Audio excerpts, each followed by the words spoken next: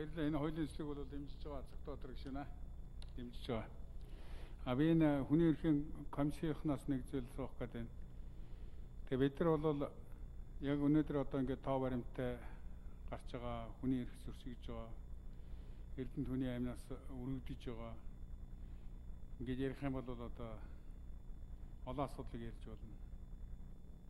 Бүх хүрээнд одоо гарч байгаа хүчрэг хилтэй холбоотой асуудлыг ярьж болно.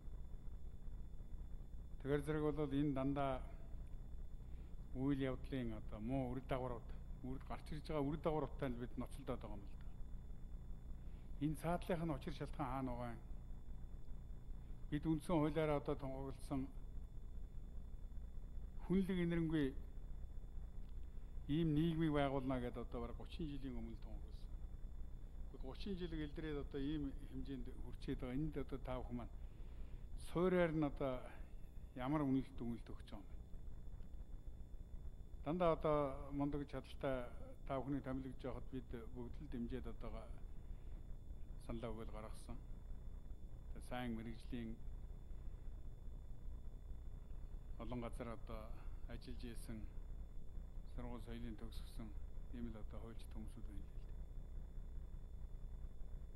Тэгэхээр зэрэг бид нар зэрэгцүүлээд одоо бий болсон байгаа энэ хүндүрэх байдлаас гарахын тулд бид нэр хууль эрх зүйн шаардлагатай зохицуултыг хийх хэрэгтэй. Арга хэмжээнүүдийг зэтралтай авах хэрэгтэй.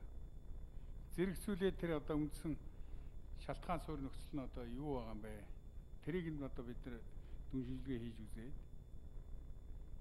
тэндээс нь эхэлж одоо засах ажлыг бид нэр давхар хиймээр байна шүү дээ. Дэлхийн бос улс орнууд чинь энэ рүү анхаарал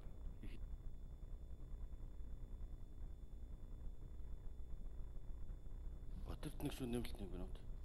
Таны хүмүүнлэгийн боловсролын хөлчин бас энэ хүний эрхийн боловсролтой уйлдах юм л шүү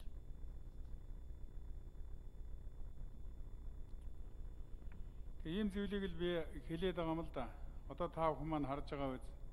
Биднээс огт өөр одоо баруун шашин соёл үзэл ухамсартай ийм улс орны орнууд дорн дахны улс орнуудын энэ хоорондоо одоо хүчээ нэгтгэхэд ямар нэгэн одоо шашнаас ангид ёс суртахууны боловсролын тухай асуудлыг маш хүчтэй дэлхийн нийтээр тавьж байна шүү дээ. Тэгэхээр бид нар одоо юмны араас нь явж улмааргүй байна л дээ. Тэгэхээр бид нар энийг нь одоо зэрэгцүүлээд нэг нь авч үзэх хэрэгтэй байна. Их хурлын удирдлагууд засгийн газрын ерөнхий сайдын тавьж байгаа нийгмийн одоо соён гэгэрэлтэй холбоотой энэ одоо ёс зүй ухамсарыг дээшлүүлэх, суртахууныг одоо сайжруулахтай холбоотой том зорилт бодлогын хүрээнд бид нэр хүмүүнлэг боловсролыг одоо дэмжих тухай хуулийн төсөл өргөн барьсан гэдэг энэ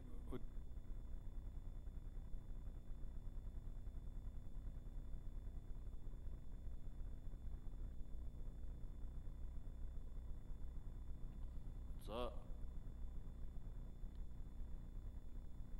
Дугуурын сүнжид төрөлх үнд 87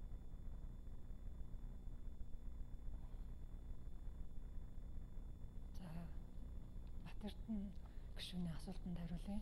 Энэ урдчлалын сэргийлэх арга хэмжээ бол үнэхээр чухал. Тэгэхээр хүний эрхийн үндэсний комиссийн хийх ёстой нэг арга хэмжээ нь бодлогын баримт бичиг хуулийн төслүүдэд хүний эрхийн талаас нь үнэлэлт өгнөлт өгөх учиртай. Нэгдүгээр, хоёрдугаар нь хүчин төгөлдөр уйлчиж буй хууль тогтоомж өөрөө давхардал хийдэл зөрчилгүй буюу хүний эрхийн талаас асуудалгүй механизмыг тусгаж чадсан байна уу хамгаалж хангаж үнэхээр чадж байна уу гэдэгт дүн шинжилгээ хийгээд хэрвээ засаг залруулах зүйл байх аваас түнд нь санал учиртай. Нэг урьдчилан сэргийлэх механизм арга зам нь энэ мөн хоёрдугаарт нь эрх зүйн эрх зүйн альва боловсрал, ерөнхий боловсрал, мэрэгжлийн боловсролын түвшинд хүний эрхийн хандлага суурилсан мэдлэг мэдээлэл боловсрал өгөх хөтөлбөрийг байнга үргэлжлүүлж тогтмол системтэйгээр үргэлжлүүлэх асуудал бол үнэхээр чухал байгаа. Энэ зөвхөн ерөнхий боловсролын сургууль төдийгүй одоо хууль сахиулах чиглэлийн мэрэгчлэнүүд бэлтгэдэг дотоод ерөнхий их сургууль одоо алба хашиж буй төрийн албан хаагчид тэгээд иргэний нийгмийн байгууллагууд гээд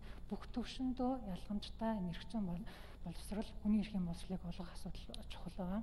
За одоо тэгэхээр дараагийн ясна одоо ирж байгаа өргөдөл гомдлог дээр дүн шинжилгээ хийгээд үнэхээр их зөрчилтэйгээ шууд асуудалд нь бас хариу арга хэмжээ авах үүрэгтэй.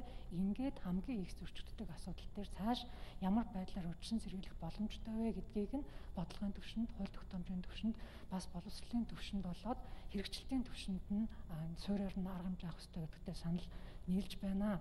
Тэгэхээр жилдээ бол хүний эрхийн үндэсний комиссны 600-аас 700 орчим гомдол ирдэг юм байна. Гомдлоос энэ хөл хорооны үедээ холбоогүй үед бол хамгийн их зөрчигддөг эрх нь хөдөлмөрлөх эрхтэй шууд холбогддог. Хөдөлмөрлөх эрх нь олон янз байна. Зөрчигдөж байгаа хэлбэрүүд нь гэвч хамгийн их болохгүй байна. Системийн хувьд авч үзэх ёстой гэж хэлээд байгаа нь төрийн болон хувийн хвшлийн албан ажилтнуудын дунд, ажил олгогчдын дунд энэ хөдөлмөрлөх эрх зөрчиж байна За